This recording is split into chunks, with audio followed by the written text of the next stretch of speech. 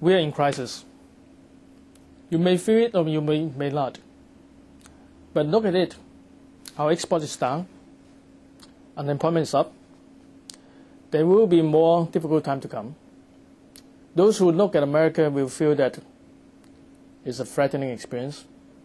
I can tell you that this is one of the largest crises we've ever seen, even bigger than the Asian financial crisis we gone through 10, 12 years ago in this region.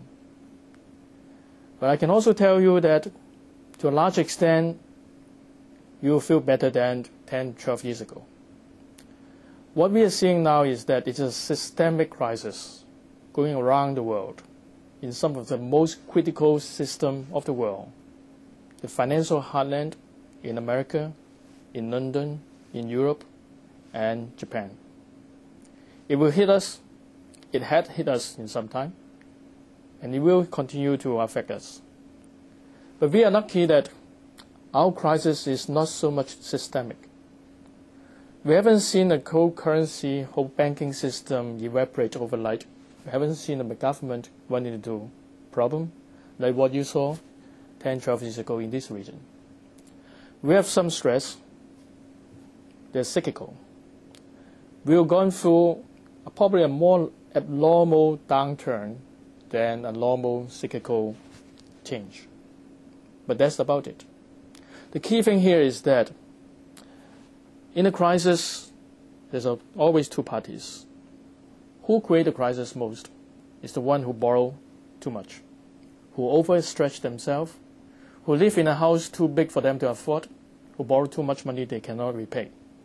That's in America, to some extent in Europe. We are on the other side of the formula. We lend them money. We save a lot. We produce a lot. We sell our product, our product to them to the extent that we even lend money for them to buy it. So when they're in trouble, we are in trouble because we have nobody to sell to and we have no one to lend to. That's not exactly true. If we can produce a product, our customer is not taking it, why can't we take it? In Asia, actually, it is quite a distorted development. We are not the most developed place. We don't enjoy the best living standard of the world.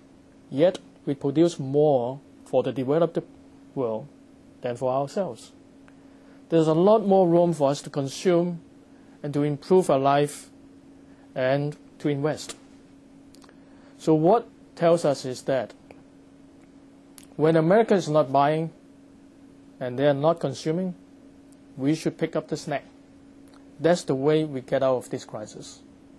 Doesn't mean that we have to overextend ourselves. We always have to be careful, to be prudent. But there's so much saving in our hands. We have to make it for better use going forward. So I can tell you that we will still have bad time ahead. It will be painful. We will lose more jobs but we can come out better, faster than most of the others.